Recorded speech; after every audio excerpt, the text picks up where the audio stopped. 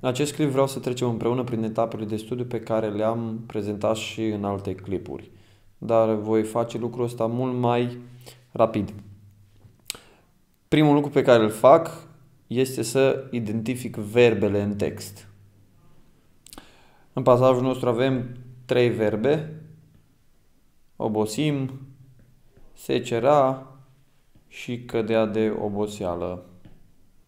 După ce am identificat verbele, ca să separ mai ușor propoziții, identific elementele de legătură.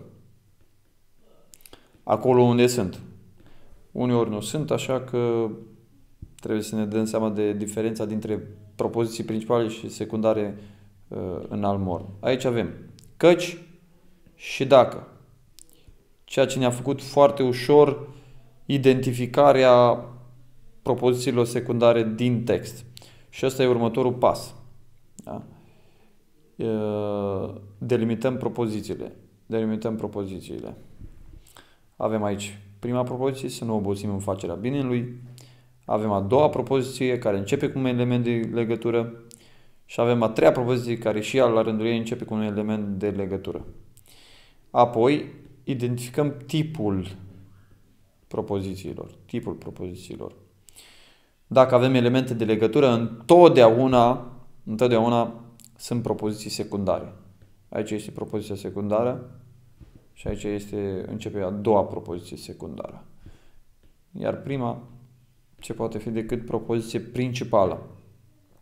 După ce am uh, făcut lucrul ăsta, uh, identificăm foarte simplu tema pasajului. Tema pasajului din propoziția principală. De fapt, ăsta este scopul întregului demers. Să ajung să înțeleg despre ce vorbește textul. Despre ce vorbește textul. După ce am identificat tema, care este să nu obosim în facerea binelui, i-ai pus în negativ aici, să nu obosim în facerea binelui, da? Poți să o pui pozitiv, adică a nu obosi înseamnă a persevera, perseverență în facerea binelui. Da, puteți găsi alte sinonime, este același lucru. Este același lucru. După ce am făcut lucrul ăsta, de obicei, fie înainte de identificarea temei, fie după ce este același lucru, eu diagramez textul. Da? Ca să văd clar în fața ochilor propoziția principală care sunt propozițiile secundare. Am făcut deja diagramarea ca să recuperăm din timp. Da? Avem aici propoziția principală, să nu obosim în facerea binelui. Avem propoziția secundară și a doua propoziție secundară o numesc eu de gradul 2. Da? Pentru că ea se leagă de prima propoziție secundară. De prima propoziție secundară. Oricum, am făcut diagramarea. După ce am făcut diagramarea, uh, încep să identific detaliile, detaliile. Adică ce se spune despre temă. Ce se spune despre temă? Ce spune pasajul nostru despre temă? Și deja aici mergem spre teologia pasajului și identificăm detalii practice importante pentru noi. Păi, se spune un lucru foarte important, da? Căciul ăsta arată motivația. De ce să stăruim în facea bine? Motivația. Că la vremea potrivită vom secera, da? Vom secera.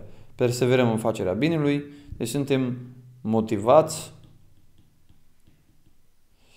în perseverare sau pentru perseverare în facerea binelui, da?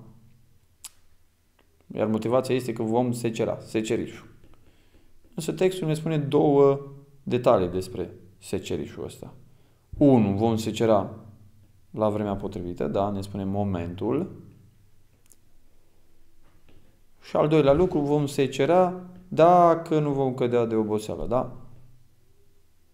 Uh, maniera secerișului sau, ca să fim mai consecvenți cu pasajul, condiția. Condiția este să nu cădem de oboseală, să nu cădem de oboseală. Acum, dacă ar fi să fim preciși cu textul, după ce am stabilit uh, detaliile da, despre care am vorbit aici, uh, ultimul aspect este să uh, extragem niște principii, da? să vedem teologia pasajului. Despre ce vorbește pasajul? Pasajul vorbește despre facerea binelui, da? Despre facerea binelui. Nu vorbește pasajul despre mântuire, despre modul în care suntem mântuiți. Facem bine ca să fim mântuiți, da?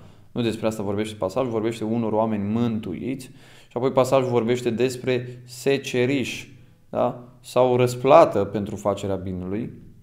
Nu vorbește despre ce știu eu, ce altceva, da? Uh, ok? Și pune pasajul foarte clar aici posibilitatea, probabilitatea căderii în oboseală, da? Căderii în oboseală.